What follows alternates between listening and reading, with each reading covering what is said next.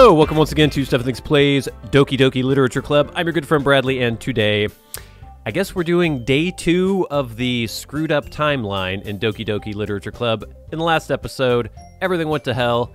Um, the game is glitching out now. Apparently, Sayori has ceased to exist. Her character file is missing from the game, so we're starting over without Sayori and I don't know what the hell's going to happen. All my old saves are gone, so we're going to load this, and we're going to see what happens. Day 2 slash 2 slash B or something. I don't know. Hi again, Burado. Monika is evil. Glad to see you didn't run away on us. uh, nah, don't worry. This might be a little strange for me, but at least I keep my word. But I at least keep my word. Well, I'm back at the literature club. I was the last to come in, so everyone else is already hanging out. Thanks for keeping your promise, Burado.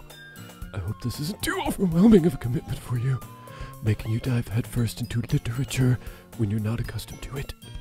Oh boy, okay. Now, did you see what just happened with Natsuki's character model? Is that because I tried to appeal to her with my last poem? Does the fact that she's to fall in love with me mean that she's next? Oh, come on, like he deserves any slack. you already had to be dragged here by Monika. I don't know if you plan to come just come here and hang out or what, but if you don't take us seriously, then you won't see the end of it. Whoa, I can't I can't read, Monika. Uh you're you're in my way. Uh, I think it's Natsuki. You certainly have a big mouth for someone who keeps her manga collection in the classroom. My, ah, ah. Natsuki finds herself stuck between saying Monika and manga. Manga is literature! Swiftly defeated, Natsuki plops back into her seat. I'm sorry, Burado, but make sure to put your comfort first, okay? Yuri shoots Natsuki with a disappointed glance. Um, anyway. Oh yeah, she's the vice president now. She's, she's taking more an active role. Now that you're in the club and all, perhaps you might have interest in picking up a book to read. Uh, well, I, I can't really say no either way.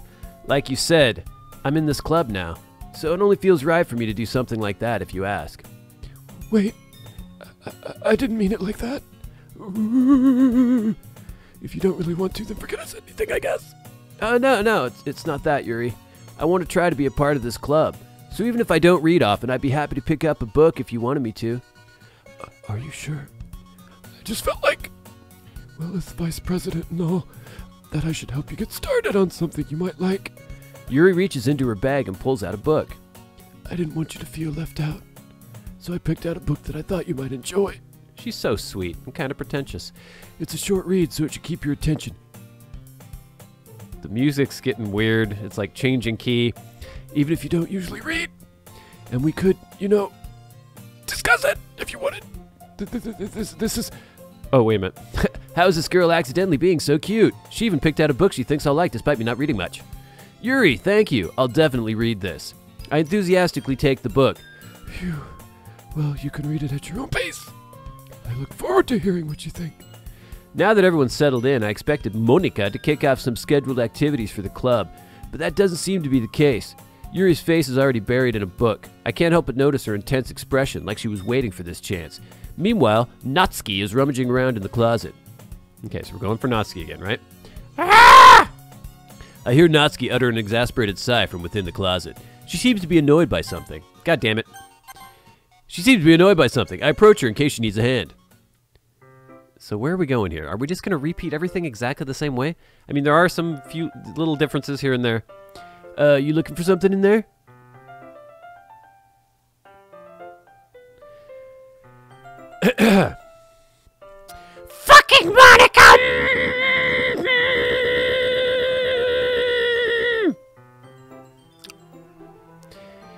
puts my stuff back in the right spot! What's the point in keeping your collection organized if someone else is just gonna mess it up? Natsuki slides a bunch of stacked books and boxes across the shelf. Manga. You read manga, right? Uh, sometimes. Manga is one of those things where you can't admit you really you're really into it until you figure out where the other person stands. Uh, how did you know anyway?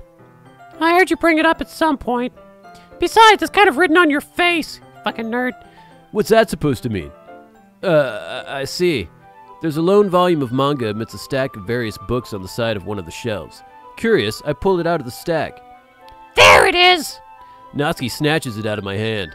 She then turns to a box of manga and slips the volume right into the middle of the rest. Oh, much better. Seeing a box set with one miss, one book missing is probably the most in- irritating sight in the world. I don't know why I can't read now. I know that feel. I get a closer look at the box of, box set she's admiring. Like eye, my eyeballs.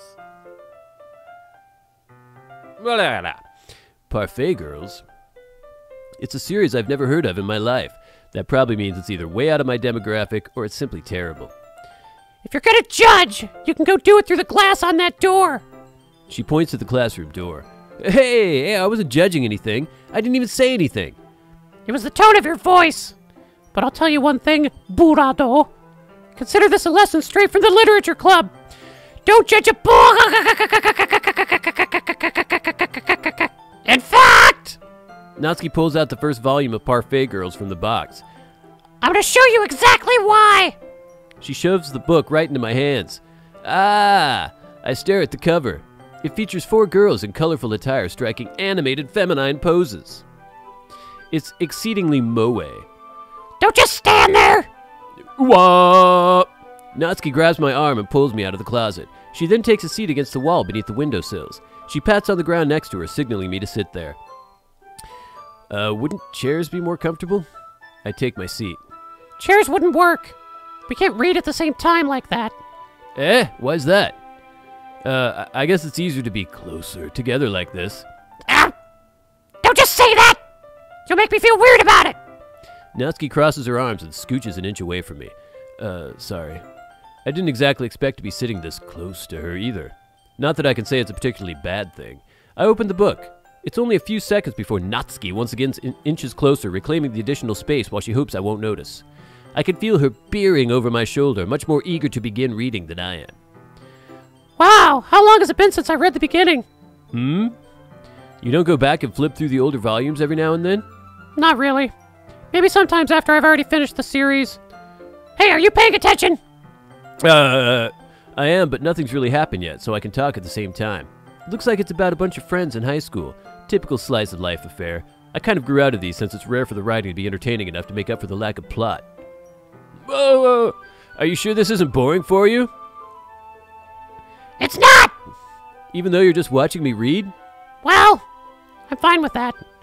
Uh, if you say so. I guess it's fun sharing something you like with someone else. I always get excited when I convince either of my friends to pick up a series I enjoy. You know what I mean? Ah! Hmm? You don't? Uh, that's not. Well, I wouldn't really know. Uh, what do you mean? Don't you share your manga with your friends? Could you not rub it in? Jeez! Uh, sorry. Ugh! Like I could ever get my friends to read this. They just think manga is for kids. I can't even bring it up with them without them being all like, Ah! You still haven't grown out of that yet? Makes me want to punch him in the face! Uh, yeah, I, I know those kinds of people. Honestly, it takes a lot of effort to find friends who don't judge, much less friends who are also into it. I'm already kind of a loser, so I guess I gravitated towards the other losers over time. But it's probably harder for someone like you.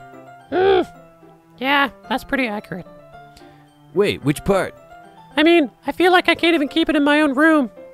My dad would beat the shit out of me if he found this! At least it's safe here in the club.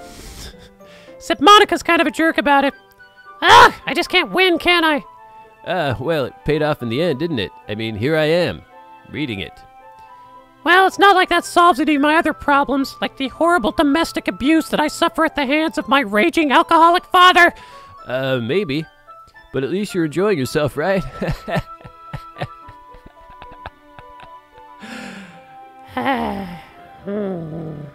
So? Jesus, enough! Are you gonna keep reading or what? yeah, yeah. I flipped the page. Uh, oh boy. I'm taking a sip of coffee here.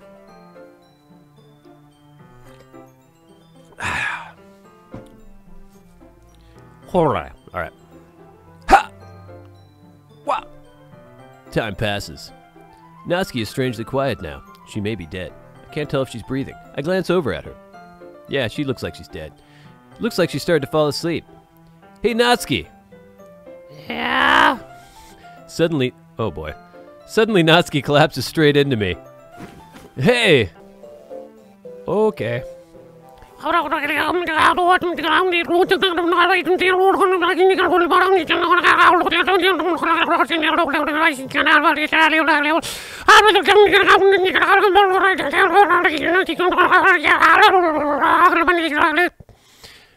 Oh, jeez. Not are you okay? oh my god. Ah. Here. Monika reaches in. Monika reaches into her bag and pulls out some kind of protein bar. She throws it in Natsuki's direction. Natsuki's eyes suddenly light up again. She snatches the bar from the floor and immediately tears off the wrapper. What is she, a fucking dog? I told you not to give. She doesn't even finish her sentence before stuffing it into her mouth. Don't worry, Burado. She's fine. It just happens every now and then. That's why I always keep a snack in my bag for her. She's a good little puppy. Anyway, why don't we all share poems now? Okay. All right, let's start with Yuri. Yuri seems the most experienced, so I should start with her. We're going to go through this whole bull honky again. I trust her opinion to be fair.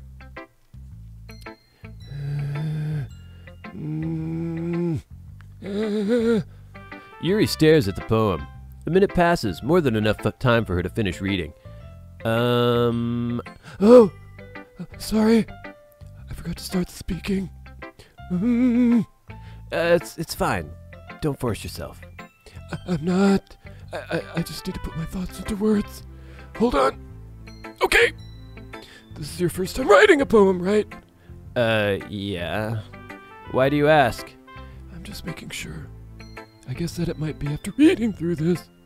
Oh, so it's it's that bad. No! Did, did I just raise my voice? Ooh, I'm so sorry. Yuri buries her face in her hands. I couldn't help but notice that it's been several minutes and we really haven't gotten anywhere. It might take Yuri a while to get used to new people.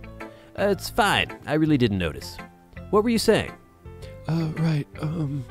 It's just that there are specific writing habits that are usually typical of new writers.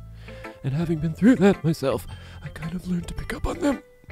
I think the most noticeable thing in recognizing new writers is that they're trying to make their style very deliberate. In other words, they tend to pick a writing style separate from the topic matter and they form and fit together. The end result is that both the style and the expressions are weakened. Once Yuri finds her train of thought, it's as if her demeanor totally changes. Her stammering is completely gone. She sounds like an expert. Of course, that's not something you can be blamed for. There are so many different skills and techniques that go into writing even a simple poem. Not just finding them, building them, and getting them to work together is probably the most challenging part. It might take you some time, but it all comes from practice, learning by example, trying new things. I'd also hope that everyone else in the clubs gives you valuable feedback. Natsuki can be a little bit biased, though. Biased how? Well, never mind. I shouldn't be talking about people like that. Sorry. It's fine. I'm not sure if Yuri is apologizing to herself, to me, or to Natsuki. Do you mind if I read your poem now? Please do. I'd love to share my thought process behind it. Yuri smiles dreamily as if that's a rare opportunity for her, which itself is kind of funny. After all, isn't this supposed to be a literature club? So you're gonna be the same poems? Seems like it. Ghost under the light. Tendrils of my hair illuminate beneath the amber glow. Bathing. It must be this one, the last remaining streetlight to have withstood the test of time. The last to be replaced by the sickening blue green hue of the future. I bathe, calm, breathing air of the present, but living in the past. The light flickers. I flicker back. Yeah, I think that's the same poem. I'm sorry I have such terrible handwriting, What? I wasn't thinking that at all. but it took you a long time to read. Ah, well, I just don't read script very often. I actually think your handwriting is pretty. Pretty awful. Huh? Uh, that's that's a relief. Also, I like the poem. Even though it's short, it was really descriptive. It wasn't too short. I usually write longer poems. Not at all. I'm really glad you liked it. I'll be honest. Since it's for our first time sharing, I wanted to write something a little more mild. Something easy to digest, I suppose. Uh, are, are you into ghosts, Yuri? Yuri? Yeah, Yuri, yeah, Yuri? Actually, the story isn't about a ghost at all, Brad Rattle. Really? I must have totally missed the point. Well, I suppose you did only glance over it after all. But remember that poets often express their own thoughts, feelings, and experiences in their work. if they usually do more than tell a simple story or paint a picture. In this case, perhaps the subject of the poem is only being symbolically compared to a ghost, lingering in her last remaining place of comfort, able to let go of the past and soon to be left with nothing. Uh, that's a lot more solemn, putting it that way. I hadn't even thought about that. That's impressive. It's nothing really. Well, it makes me happy that you think that. Just remember that it won't be long before you become these things too. Yeah, maybe you're right. Okay, I gotta go. I'm counting on you, says Yuri. All right, that's enough. It's the same goddamn thing over and over again. Let's go talk to Monika. Hi, Burado. Having a good time so far? Uh, yeah. Good, glad to hear it. By the way, since you're new and everything, if you ever have any suggestions for the club, like new activities or things we can do better, I'm always listening. Don't be afraid to bring things up, okay? All right, I'll keep that in mind. Of course, I'll be afraid to bring things up. I'm much better off just going with the flow until I'm more settled in, and Monika is fucking creepy. Anyway, want to share your poem with me? Uh, it's kind of embarrassing, but I, I guess I have to. Don't worry, Burado. We're all a little embarrassed today, you know. But it's that sort of barrier that we'll all learn to get past soon. Yeah, yeah, that's true. I hand Monika my poem. Hmm. I like it, Burado. Uh, really? It's a lot cuter than I expected. oh, jeez. No, no, no. It kind of makes me think of something Natsuki would write. And she's a good writer, too. So take that as a compliment. uh, if you say so. Yeah! If you're interested in Natsuki, then always keep a snack on you. She'll cling to you like a puppy. Cause she's a freaking puppy. Ho ho ho ho ho ho ho ho. Natsuki's dad doesn't give her lunch money or leave her any food in the house, so she's in a fussy mood pretty often. And sometimes she just loses all of her strength and shuts down. Like earlier. This is just a guess, but I think she's so small because her malnutrition is interfering with her adolescent growth. But hey, some guys are into petite girls too, you know. Sorry, just trying to look at the bright side. Anyway, do you want to read my poem now? Don't worry, I'm not very good. Uh, you sound pretty confident for someone who claims to not be very good. Well, that's because I have to sound confident. That doesn't mean I always feel that way, you know. I see. Well, let's let's read it then. Hole in wall. Okay, the same one. Now, wait a minute. This is a continuation. It looks like. so remember, she was looking through a hole, and then really it was someone else looking in at her. So now, but he wasn't looking at me. Confused, I frantically glance at my surroundings, but my burned eyes can no longer see color. Are there others in this room? Are they talking? Or are they simply poems on flat sheets of paper? The sound of frantic scram... scrawling, playing tricks on my ears. The room begins to crinkle, closing in on me. The air I breathe dissipates before it reaches my lungs. I panic. There must be a way out. It's right there. He's right there. Swallowing my fears, I brandish my pen. Mm-hmm. Again, poking through that fourth wall a little bit, talking about us, the player. Interesting. And things are changing in little ways. Natsuki is apparently a weird dog woman who needs to be fed snacks or else she'll faint. So, what do you think? Uh, it's it's very free form, if, if that's what you call it. Sorry, I, I'm not really the right person to ask for feedback. it's okay. Yeah, that kind of style's gotten pretty popular nowadays. That is, a lot of poems have been putting emphasis on the timing between words and lines. When performed out loud, it can be really powerful. Uh, what was the inspiration behind this one? Ah, well, I'm not sure if I know how to put it. I guess you could say that I had some kind of epiphany recently. It's been influencing my poems a bit. She knows she's in a game. Uh, an epiphany? Yeah, something like that. I'm kind of nervous to talk about deep stuff like that because it's kind of coming on strongly. Maybe after everyone is better friends with each other. Anyway, here's Monika's writing tip of the day. Sometimes when you're writing a poem or a story, your brain gets too fixated on a specific point. If you try so hard to make it perfect, then you'll never make any progress. Just force yourself to get something down on the paper and tidy it up later. Another way to think about it is this. If you keep your pen in the same spot for too long, you'll just get a big dark puddle of ink. So just move your hand and go with the flow. That's my advice for today. Thanks for listening. Okay, Natsuki's turn. I don't know if things are going to get crazy or not. Let's take a sip of coffee.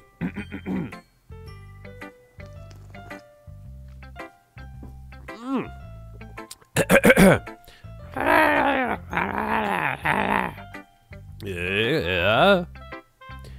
Okay, well, let's start with the things I don't like. First of all, um. Uh, Natsuki rereads my poem. Never mind. I don't feel like giving you my opinion. Yeah? Then what's the point of sharing in the first place? I wrote this when I could have been doing other things.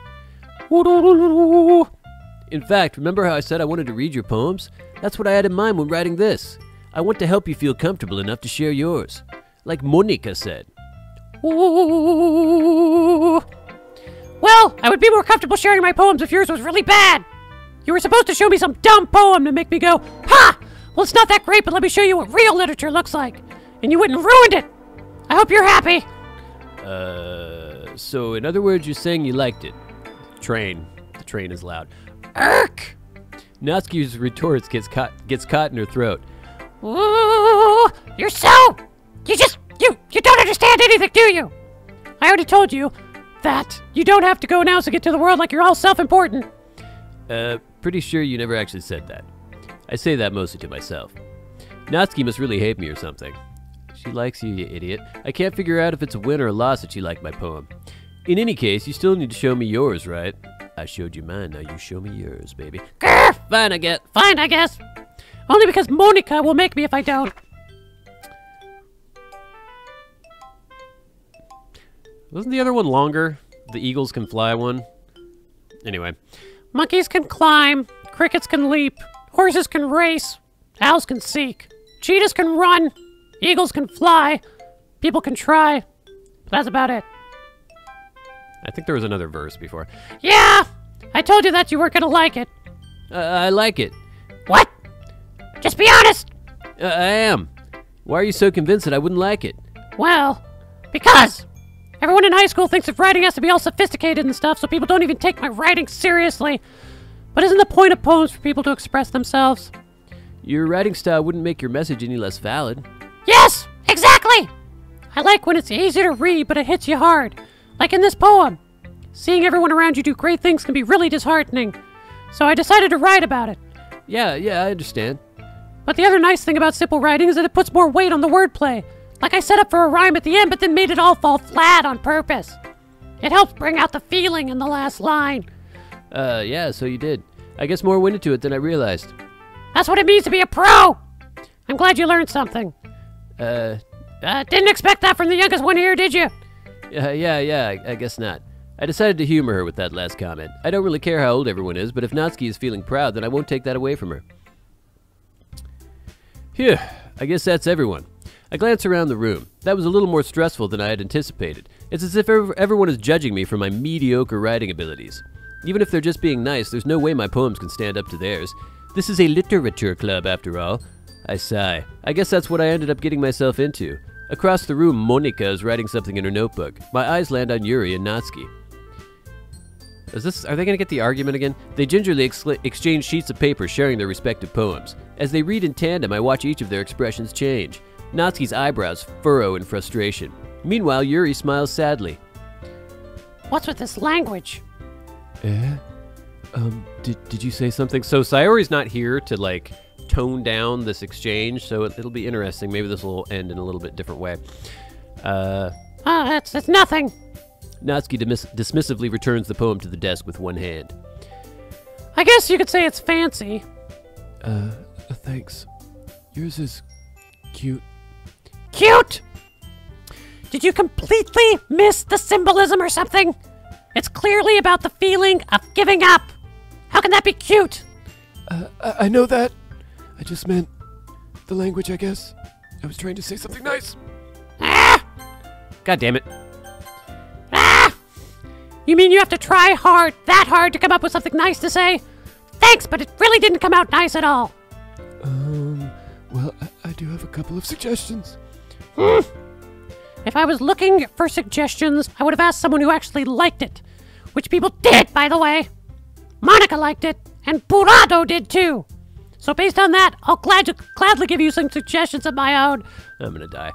First of all, Uh, excuse me. I appreciate the offer, but I've spent a long time establishing my writing style. I don't expect it to change anytime soon, unless, of course, I come across something particularly inspiring, which I haven't yet. And Burado liked my poem too, you know. He even told me he was impressed by it. Natsuki suddenly stands up. Are they going to actually get in a knockdown drag-out fight? Oh! I didn't realize you were so invested in trying to impress our new member, Yuri. That's not what I. Ooh, you, you're, you're just. Yuri stands up as well. Maybe you're just jealous that Burado appreciates my advice more than he appreciated yours. Ah! And how do you know he didn't appreciate my advice more? Are you that full of yourself? Uh, no. If I was full of myself, Whoa, her, didn't her boobs just do something? I would deliberately go out of my way to make everyone and everything I do overly cutesy. Ooh! Well, you know what? You, I wasn't the one whose boobs magically grew a size bigger as soon as Burado started showing up. Natsuki, Um, Natsuki, that's a little... This doesn't involve you. This doesn't involve you. Uh, Taking out your own securities on others like that. you really act as young as you look, Natsuki. Me? Look who's talking. You want to be edgy, bitch? Oh, they're getting a little, a little more into it now. Edgy. Sorry that my lifestyle's too much for someone of your mental age to comprehend. See? Just saying that proves my point. Most people learn to get over themselves after they graduate middle school, you know. Uh, if you want to prove anything, then stop harassing others with your sickening attitude. You think you can counterbalance your toxic personality just by dressing and acting cute? The only cute thing about you is how hard you try. Whoa, be careful or you might cut yourself on that edge, Yuri. Oh, my bad. You already do, don't you? Oh, oh. Did, did, did you just accuse me of cutting myself? What the fuck is wrong with your head? Yeah, go on. Let Burado hear everything you really think. I'm sure he'll be head over heels for you after this. Ah! Suddenly, Yuri leans towards me as if she just noticed I was standing, or turns towards me as if she just noticed I was standing there. Burado! She, she's trying to make me look bad. That's not true. She just started it. She started it. Uh, yeah. Oh my. Oh, whoa, whoa. Hey, come on. Uh, okay, so it's like, I think it was the same dialogue as before, just very quickly. How did I get into this or dragging me into it? Who should I side with? Now I have to pick a side.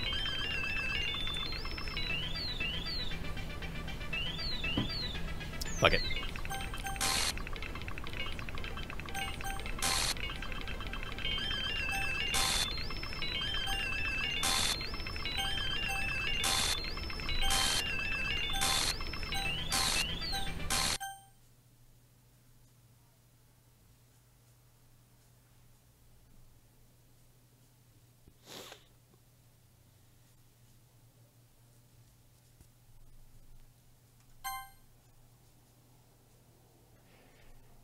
Hello?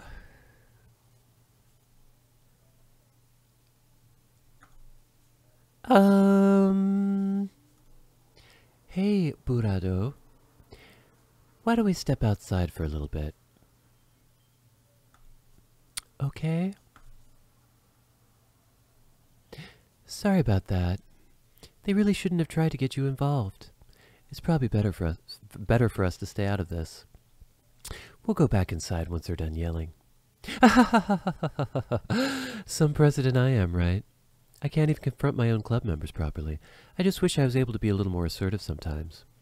But I never have it in me to put my foot down against others. You understand, right? Anyway, if this makes you want to spend less time with the others, then that's fine. I'd be happy to spend time with you instead. Suddenly, Natsuki runs out of the classroom. Oh, she's crying. Poor Natsuki. She quickly runs away. Oh dear. Well, it looks like they're done. I, I, I didn't mean it. I didn't mean it. I didn't mean it. Yuri is rocking back and forth on her desk with her palms on her forehead. oh my god. Uh, Yuri, I, I didn't mean it. I, I, I believe you. I have no idea what Yuri might have said to Natsuki. Or did. Bu- bu- bu- Burado, please don't hate me. Please. I'm not like this. There's something wrong with me today. It's fine, Yuri. We know you didn't mean it. Besides, I'm sure Natsuki will forget all about it by tomorrow. Completely. Sounds ominous. Anyway, the meeting is over, so you can go home now if you want. Uh, Yuri looks at me like she wants to say something, but she keeps glancing at Monika. Uh, you, you can go first, Monika. I'd like to stay a little bit longer. I'm the president, so I should be the last one out. I'll wait for you to be done. Uh, uh, uh, well, I'm vice president, so please let me take the responsibility today. It kind of sounds like you don't want me around for something, Yuri. It's not that. It's it's not that. I, I just I didn't get much of a chance discuss my book with Burado. It would just be embarrassing with you listening. I guess I don't really have a choice, do I? I, I'm sorry for causing trouble, but I really appreciate you understanding. Whoa.